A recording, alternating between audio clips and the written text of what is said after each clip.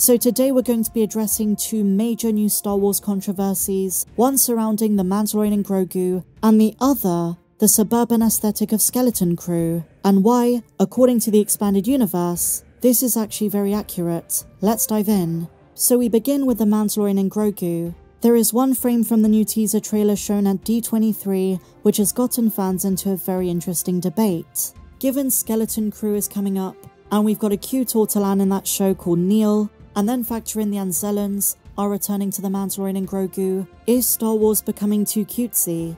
Between BB-8, Grogu, Neel, Gunji, Nubs, is Star Wars leaning into its cute side a bit too much?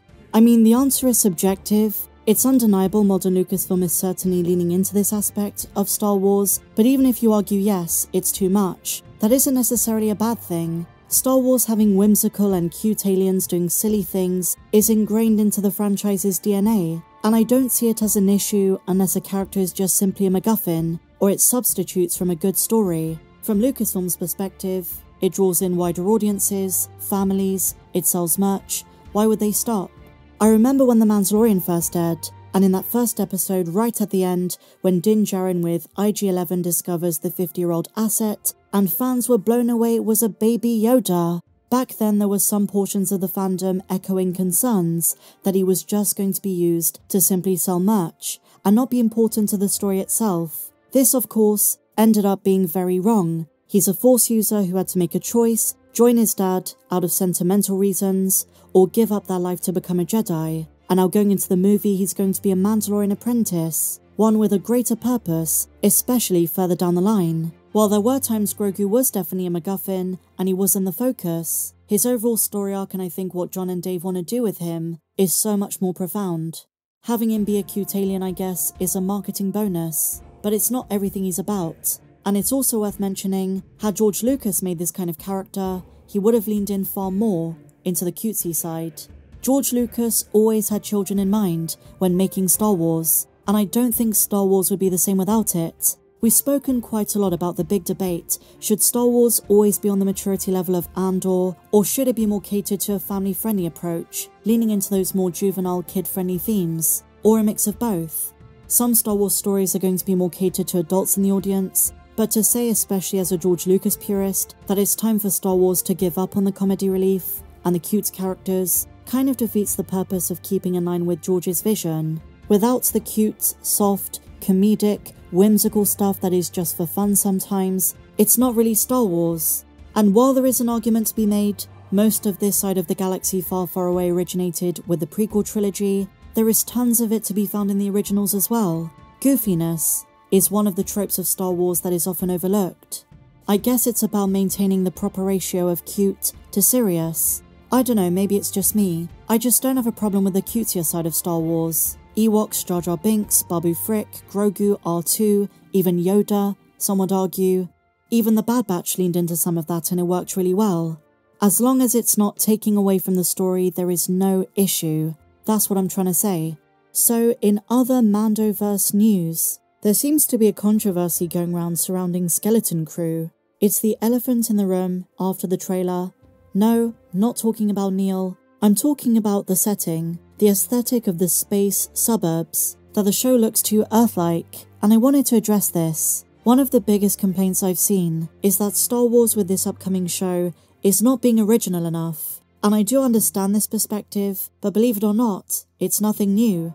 In the expanded universe, young adult novels, Galaxy of Fear, there are a couple of settlements which are spoken about, which do resemble middle class suburbia of an American town. And not to mention, my dear friends, throughout the Star Wars galaxy, we've seen Western saloons, 1950s diners, New York City on steroids, and even the aesthetic of a tattoo parlor. It's too early to judge, but it appears as though they are making it quite Star Warsy and they're really going for the 80s Amblin vibe.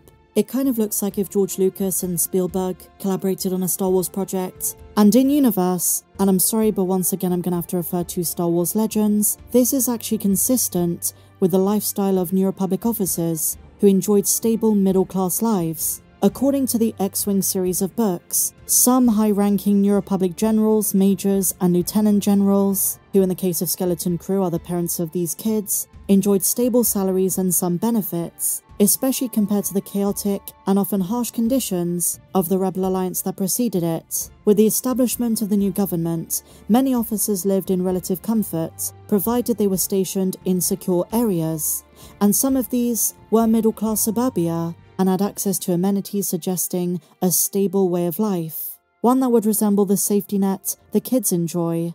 In terms of housing, while stationed on more developed planets or in safer systems, New Republic officers often had decent housing whether provided by the military or rented with their salaries. The living conditions were significantly better than the Spartan and precarious setups of their rebellion days, although they weren't as lavish as Skeleton Crew might suggest. But it was middle class nonetheless, and the higher your status and social standing, the higher your rank, the better your standard of living. And here is what other fans had to say. I love it. If anything, my complaint is that the lighting and some shots feel more like an Abrams film and less like a Spielberg film. Not bad, but wish it felt more late 80s, early 90s. This person says, The biggest reason why I and others don't like the Burbs aesthetic is that it isn't interesting, and they haven't done anything in the trailer to make it look more interesting. This looks like it could be any sci fi show with a suburban setting. Well, like I said in my breakdown, I think as a starting point, that was precisely the goal. These children live in a very secure environment, no danger, their parents are presumably quite wealthy, they work for the New Republic, they don't have to face much adversity, it's pretty mundane, and then suddenly they're thrown into a galaxy of adventure. They're gonna come across terrifying things, conspiracies, mysteries, things they don't understand, things which are gonna connect probably to the Imperial Remnant, maybe Thrawn, pirates, smugglers, but the safe suburb is the starting point. The fact they're doing it for the first time in live action to me is not really an issue.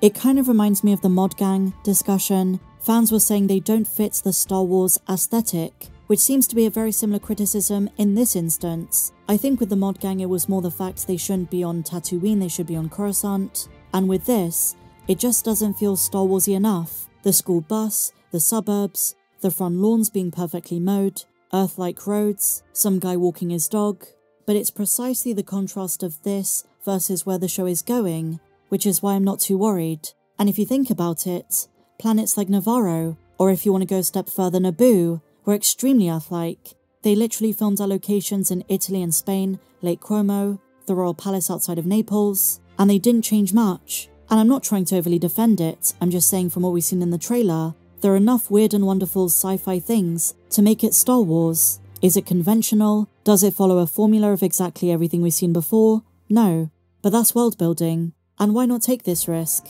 They've been marketing this show for two years, as Goonies in Space. Maybe when the show comes out, I will have more criticisms, but right now from the trailer, I think it looks fun. And I think personally for me, I'm gonna have a good time watching this. I'm not entirely thrown out of the Star Wars universe. I think it's the bias that this is Star Wars live action, because we've seen tons of terrestrial, Earth like vibes in the animated shows.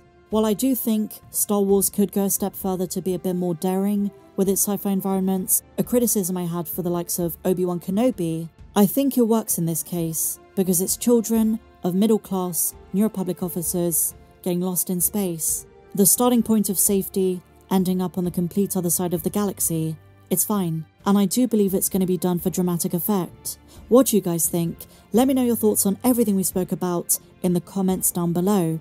If you enjoyed this video, please be sure to give me a big fat thumbs up, subscribe if you're new, check me out on socials, and may the force be with you, always.